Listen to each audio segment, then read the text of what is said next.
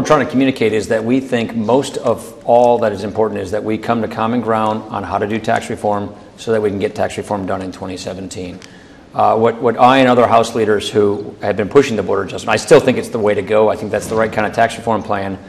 But if it's going to stop us getting to consensus to get tax reform done, then we don't want that to happen, meaning the border adjustment. We want consensus to get tax reform done.